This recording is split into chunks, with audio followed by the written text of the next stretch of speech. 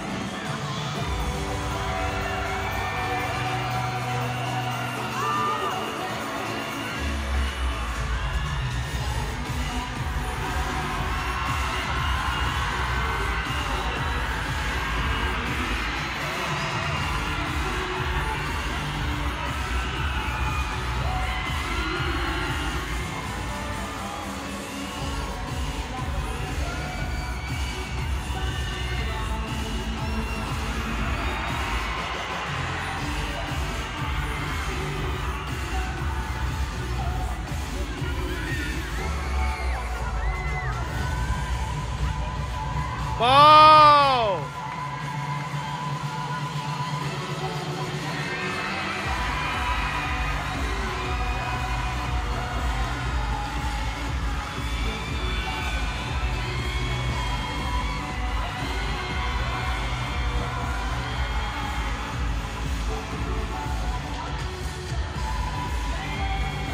Ba, Lumia ơi!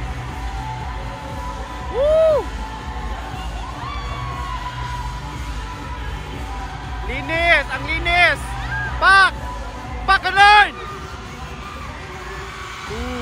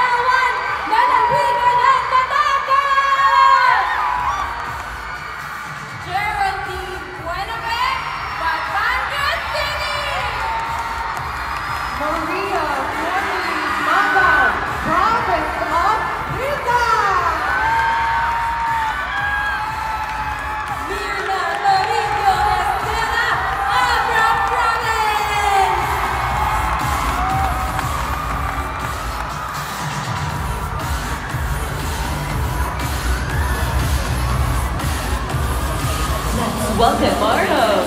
This Grand International 2016 first runner-up, Nicole Berdalis. Miss Universe 2014 finalist, Mj Simosa. Miss Rose, 99.7 Princess, Rupa Gutierrez. Wow. Miss International